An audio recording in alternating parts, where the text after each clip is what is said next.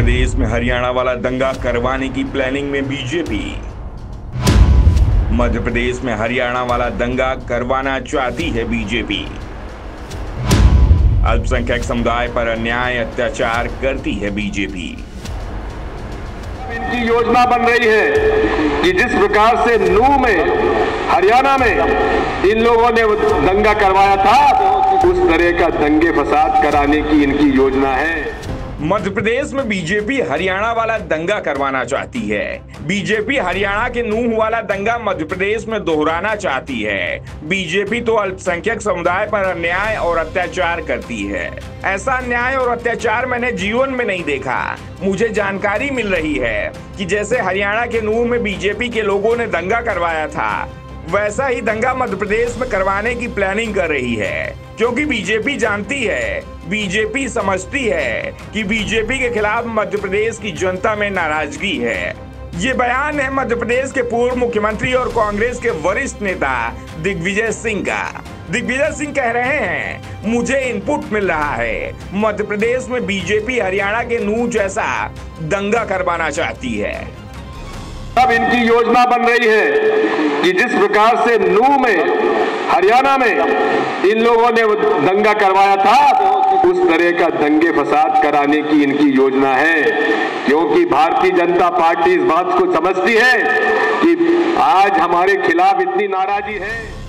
मध्य प्रदेश के पूर्व मुख्यमंत्री दिग्विजय सिंह ने भोपाल में बड़ा बयान देते हुए बीजेपी पर बड़ा आरोप लगाया है। दिग्विजय सिंह ने कहा कि मध्य प्रदेश में बीजेपी हरियाणा के नूह जैसा दंगा करवाना चाहती है। अल्पसंख्यक समुदाय पर अन्याय और अत्याचार बीजेपी ने किया है। दिग्विजय सिंह ने आगे कहा, मैंने अपने पूरे जीवन में ऐसा नहीं देखा।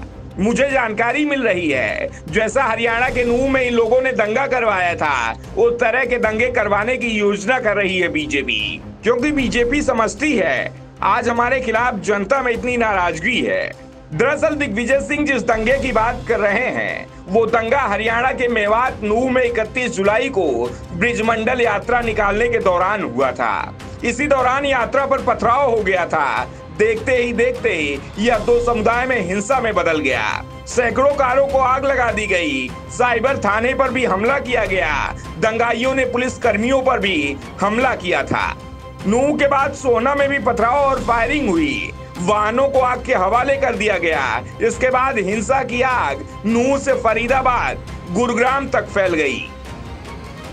नू हिंसा मामले में दो होमगार्ड समेत छह लोगों की मौत हुई है। इसके बाद नू फरीदाबाद, पलवल समेत कई जगहों पर इंटरनेट बंद कर दिया गया था। इसके अलावा नू में कर्फ्यू लगाया गया था। हरियाणा में हिंसा को लेकर 142 एफआईआर दर्ज हैं।